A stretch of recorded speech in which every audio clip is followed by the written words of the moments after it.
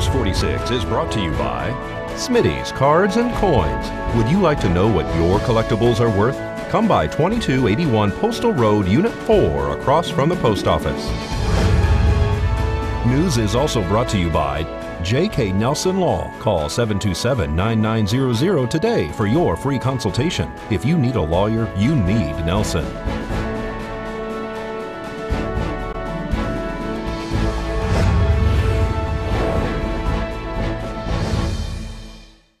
Tonight on News 46, the world says goodbye to a pair of entertainment icons. Two officers are injured over the holiday, and dozens of animals are rescued from a fire. News 46 starts now. You're watching KPVM News 46 with Deanna O'Donnell.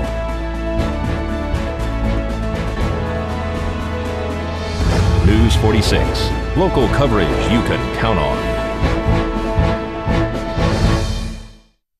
Good evening. It's Tuesday, December 27th, 2016. We hope you had a wonderful holiday. I'm Deanna O'Donnell for News 46.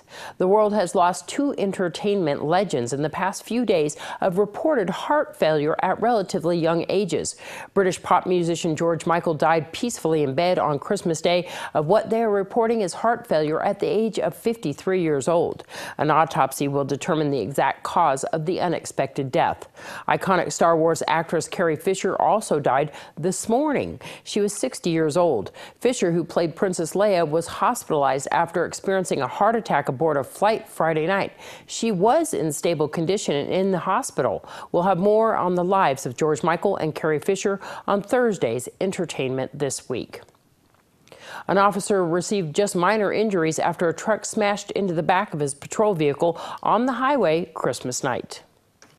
At approximately 6 p.m. on Christmas Day, a Nye County Sheriff's Office patrol vehicle was rear ended by another vehicle on Highway 160 and Irene Street while waiting for traffic to turn. A third vehicle attempted to avoid colliding with the patrol vehicle and ultimately hit the truck, which rear ended the patrol vehicle. The patrol vehicle was operated by Deputy Toll. He was transported to Desert View Hospital with minor injuries and released. Nevada Highway Patrol is handling the accident investigation. The car was a complete loss. This is Deanna O'Donnell for News 46. And a police pursuit ended at a property between Donner and Horn Streets early this morning, with the suspect in custody and an officer injured. Around 3 a.m. this morning, the Nye County Sheriff's Office were on a high speed chase with a vehicle around the center part of the Pahrump Valley. The chase ended at an address on Donner Street. The suspect then fled on foot. Deputies were able to catch up with the suspect after he went through several properties. One of the deputies were injured as a result of an altercation with the suspect. He was transported to Desert View Hospital with possibly a broken wrist. The suspect received minor injuries. It all started when Deputy Anderson attempted to conduct a traffic stop on the vehicle. The vehicle is reportedly stolen out of Henderson and also had a TV set in the back seat. Nye County Sheriff's deputies are investigating. This is Deanna O'Donnell for News 46. The animals trapped inside a structure that caught fire Friday night were saved by residents as the fire tore through the building located on Bannavich and Bell Vista. News 46 caught up with Fire Chief Scott Lewis. Bell Vista and Bannavich dispatched for a report of a structure fire.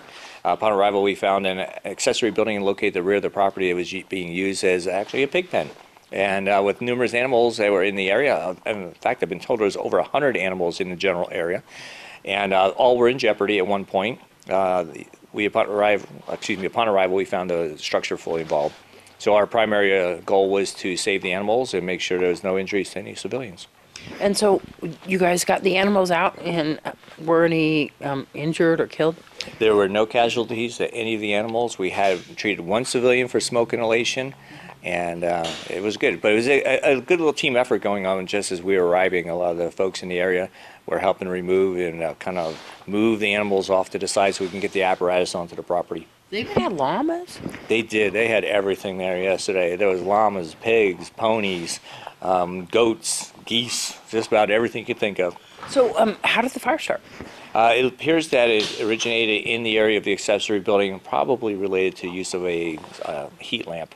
that was uh, for some piglets. It, it's the same issue we talked about the space heaters, but trying to eliminate the uh, cl- closely located combustibles to heat sources. The piglets are okay though? They are. They were all running around, but they were safe. Your health tip when we return.